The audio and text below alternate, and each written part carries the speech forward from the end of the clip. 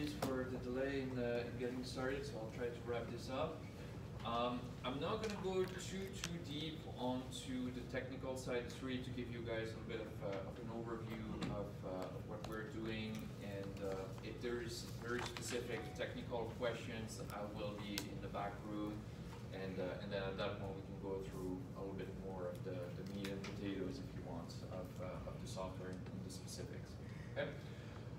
Um, so, leads who are we, why am I here, what are we talking about? So, I'm just going to start with literally two slides of, uh, of what we're doing. So, as you guys know, we are um, a partner of Matsuura on the software side. And why are we talking about software uh, when we're into machine tools setting? The reason for it is going from three axis to five axis is a pretty big step. There is a little bit more to it than simply adding two axes um, to your existing machine.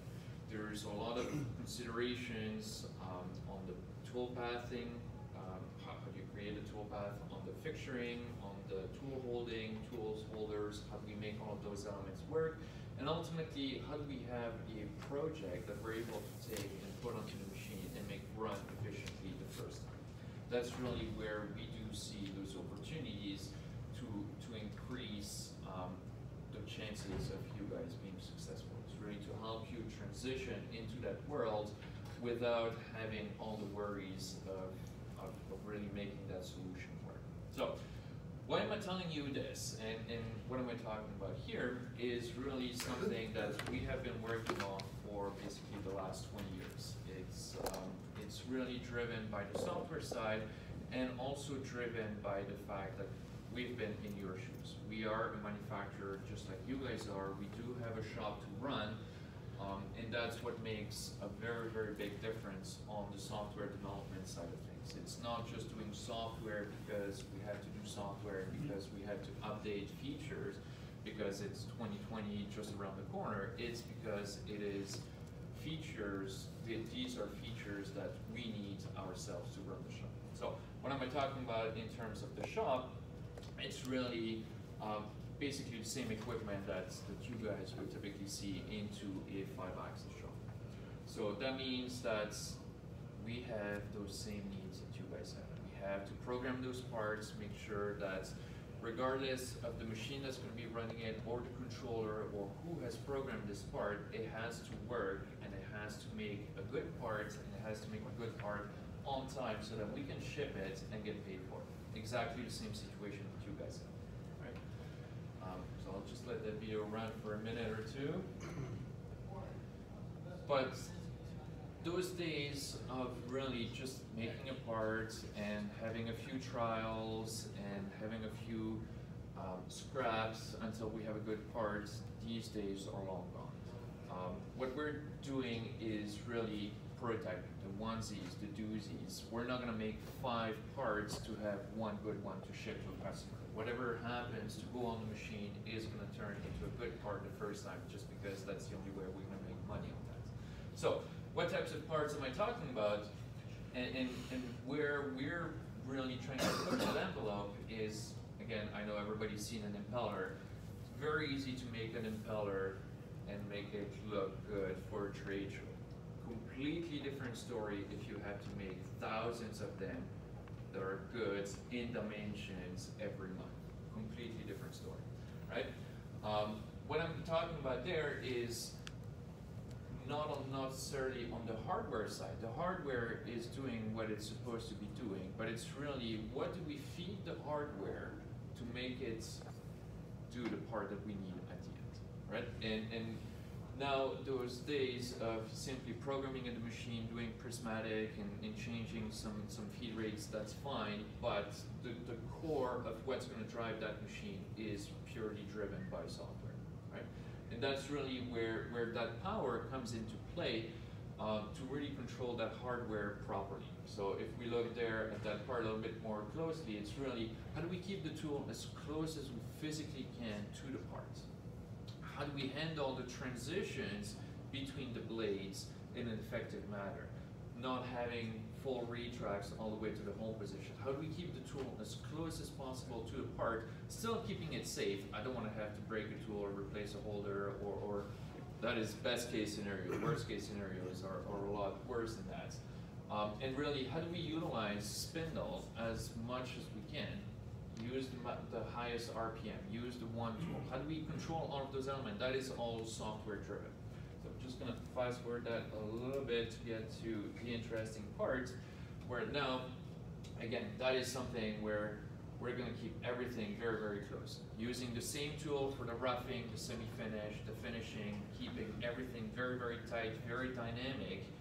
I know that's, it, it looks scary, it's not as scary as what it looks. It's all software driven, and again, that's really where, where that power to drive that hard, hardware comes into it. Um, what I'm getting at is now, making an impeller like that was just over three minutes, from start to finish. Right? That's really one of the ways you're able to make money is to keep that machine going as long as possible. Okay? So, in terms of those those needs and issues, we have those needs, you guys have those needs, and whether you're one-man operation or very, very large corporation, you will have the same needs of keeping those machines up and running. So, interesting thing to note there, are some other software companies are using our product as well. There's, again, a very, very good reason for that. Those reasons being on the productivity side, I'll touch on some of those, where we're here to really help you guys transition into that world safely and, and really painlessly. I know it can be very painful, we've been there. Um, and then really making sure that you're not gonna have any issues with, with that investment that you're making. And at the end, how do we make that into a one-stop operation? Again, it's all about being able to make those chips quickly, right? So on the productivity side, what does that mean? That means that those toolpaths, whether it's the part that I showed you or one of your parts, those days of programming at the machine are all gone, right? If you start looking at those tilted work plane, probing, 3D cutter comp, you're not gonna have a guy sitting at the machine putting those numbers in. That's, that's long gone. Um, on the productivity side as well, what we're gonna see is know, when I walk into shops and I see the typical lean over the window with the hand on the fuel, right? I see the smile, it's like, yes, right? Those, those times of proving those parts like this are long gone again, right? We don't have time to make five parts to have one good one to ship, right? So what that means, again, it's all driven by the software. And unfortunately, typically that is not a conversation that happens at the machine discussion stage. It's like, oh, that's a software thing, go talk to your software guy. The reality is, to be successful with that machine, you need to have the proper software solution in place right from the start to drive that hardware properly. And that's really what we're here to help Matsuura do, and ultimately you guys do, is really to make that connection from the virtual to the physical worlds in, in a quick and efficient way. So what does that mean? Kind of putting that into a little bit of a, of a simpler context. And again, I know it's not on the super heavy technical side. You want to go very heavy technically, come and see me after. Uh, but I know quite a few of you have printed your, your boarding passes for your flights, your hotel invoices. When you click print, you don't really think about where the printer head is going, how much ink is coming out, and you don't really care either. You're just clicking print and it comes out, right? Now, if that driver is not operating properly, something's going to come out not quite what you're looking for. Into our world, that is really the job of that post processor. Right? It's going to really convert whatever you're deciding on the CAM side, which is specifying use tool number two, move it from point A to point B, into something that the machine will understand properly. At the end of the day, from a toolpath perspective, moving your tool from point A to point B really has no impact whether you're running that toolpath on a Matsuura machine or a completely different machine. Your tool is still moving from point A to point B. What is very important there is what that Matsuura machine requires. Again, if that connection is not happening properly, something will come out, but not quite what you're expecting to get, or at least not what you're able to get paid for. Right? At the end of the day, that's really what matters. Am I able to make this part that's going to give me, or, or put money into my pocket?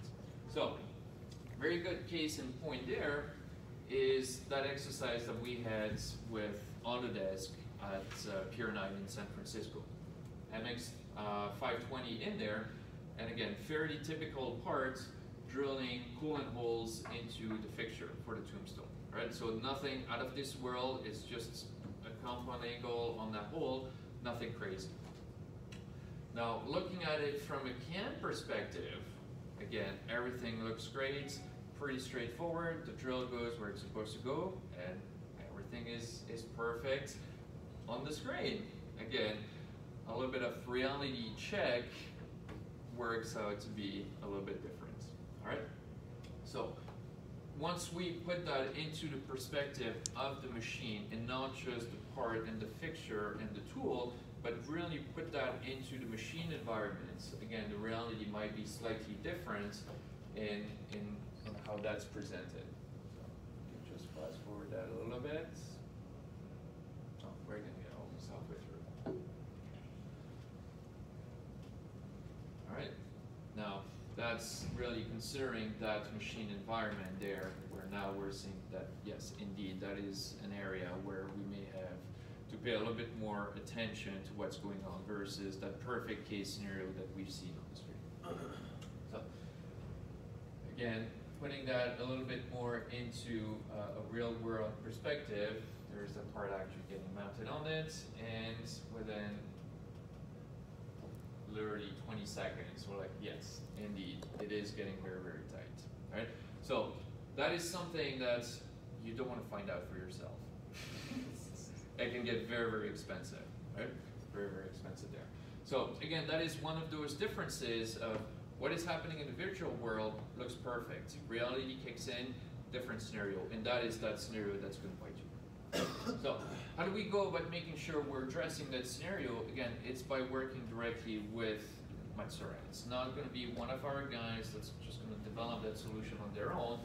Um, it's by working directly with the right people at the factory in Japan that are building those machines, and we're putting that solution together. Then it gets propagated to all the different application engineers. So all your local guys do have the software as well. They do use it. They're able to support you, and there is a reason for that. It's really to make sure that what they're presenting to you is making sense in the real world, not just an utopian world of, of software. All right. So what we're getting at is really to have something that's going to be ready right from the start. It's not about having to redevelop a solution on your own with your software guy, having the app guy come into play, and, and have a big party, and you guys are just in the middle. It's like, well, my machine is there, and I need to make parts. What are you guys doing, right? It's really about having a solution where it's going to be your machine starting uh, right from day one, and then you can start uh, hitting the ground. So from a process perspective, it's really about being able to fit within your process, not drastically change what you're doing, but continue to work with what you guys have. So it's really about being able to insert ourselves within your process and make sure that you guys are successful with that Matsuura machine right from the start. Um, or really being able to start leveraging all of those multiple platforms and pick and choose what each platform is really good at, whatever you guys are really strong at in whatever environment, and start leveraging that. So that means being able to do some roughing in one platform, semi-finish in another one, five axis in another platform, and combine all of those inputs into one project that's going to run safely onto that machine.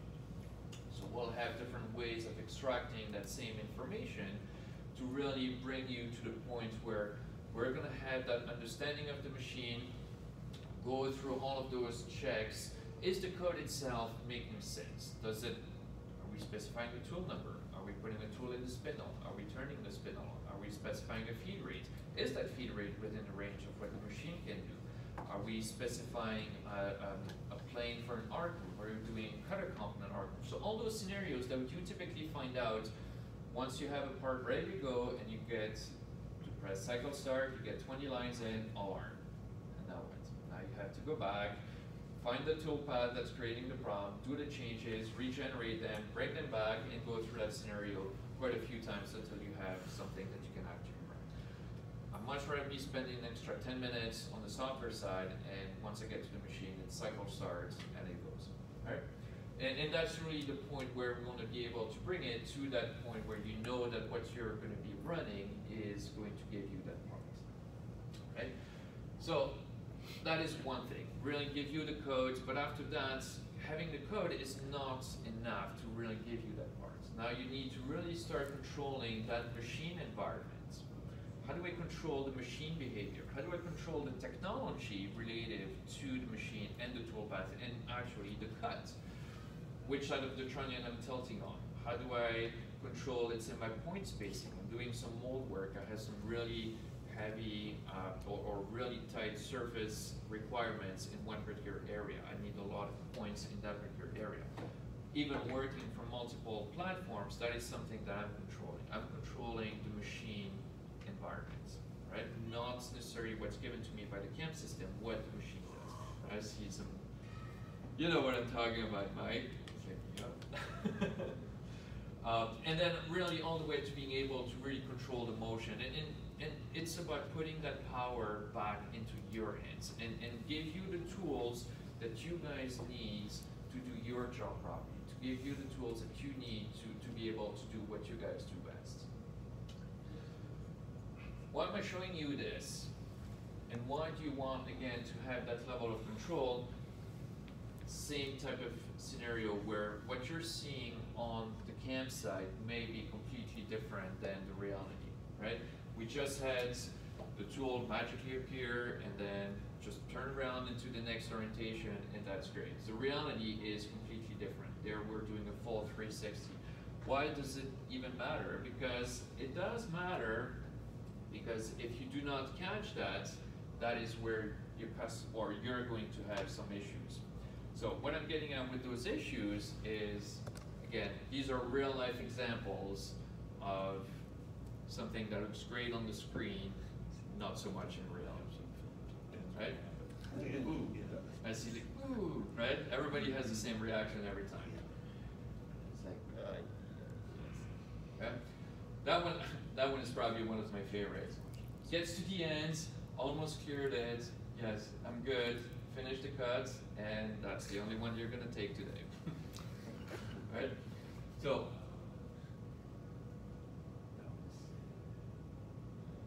you feel bad for those guys, like,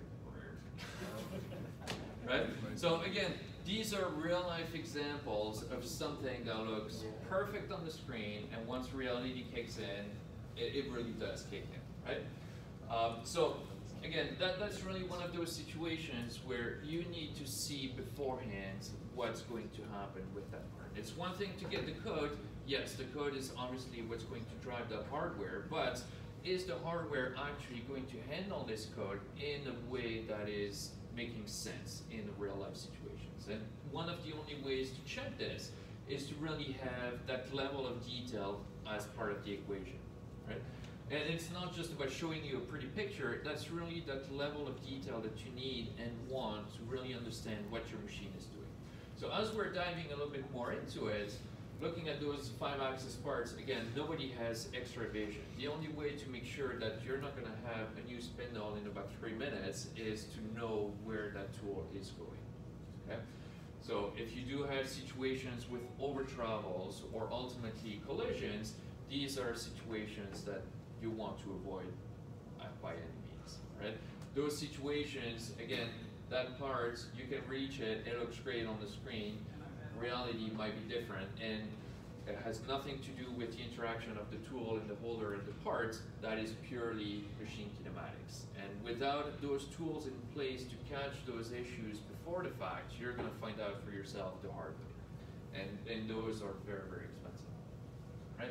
And ultimately, it's really about being able to build that understanding of that machine behavior. So with every point of the program, we're going to be tagging a ton of data. Why are we doing that? Because we love numbers? No, because we really want to be able to build that picture of that process. What is actually happening in there? Okay? Getting the codes, making sure that the code is handled by the hardware properly, but ultimately building that picture of that entire process so we can see what the machine is doing and being able to ultimately give you that opportunity to increase um, increase your chances of making better parts uh, the first time. And that really holds true at this point as well to really being able to see is this code going to give me what I need at the end? Is it going to give me the part that I'm needing to see and being able to ship to a customer and get paid for it? So these are all, all those elements that we're putting together and, and bringing to the table as part of uh, those, those ways of transitioning into that five axis world. Those, those days of, of just putting parts flat on the table and just building fixtures is actually a lot more complicated than, you know, you grab the parts and then you say, yeah, if I could have my tool go around it, I could make that happen, right? And it's really about working the same way your brain would look at the part and say, yes, I could do that, right? And now all of those tools are in place to really help you transition into that world and, and get you guys to focus on what you're good at. So making the tool path, picking the right tools, picking the proper feed rates, and then we'll take care of making that happen into the real world. Uh, even if that means they're transitioning into ultimately different machines uh, with the same environments and, and, make that happen in a very, very quick and easy way. So more specifically there about that particular solution, um, again, we don't do add-ons and extras, it's all in there. So if you come and see me after, I'm more than happy to walk you through all those features everything we're talking about is all in there. All in there right from the start. So no add-ons, no extras, so that means you get the software, the 3D models of the machine, the pose, the interface with the soft with your CAM systems, um, training, support, everything is in there, and now everybody's gonna ask me, that's great, how much money is that gonna be? This is the best part, and this is exactly why you guys are here today. That cost is zero. That is part of the machine package. That is how you guys are getting successful, and that's why you're working with Matsuura to get a great hardware and software to drive this hardware property. It's really about getting an entire solution in place into your shop and giving you the tools to be successful with that part. Right? It's not just putting a piece of hardware there. Um, it, it's really a whole package, and make sure that you guys are able to make those parts very quickly and uh easily. so, um, if there, I think we're actually getting there. Um, if there's a, a couple of things there, it's really getting codes, making sure this code is going to run properly on that machine, and then really looking at it from a process perspective as where there would be opportunities to do things better and really help you transition into that five-axis world painlessly. It's really not this scary, it's very straightforward. Right? So, um, I'm gonna leave it at that for now. I know we started a little bit late. Um, if you have questions or you want to dive into the technical side, come and see me. I'm more than happy to walk you through um, an entire process from PM all the way to, to G. All right. Any questions? No? All right. Well, come and see me in the back. No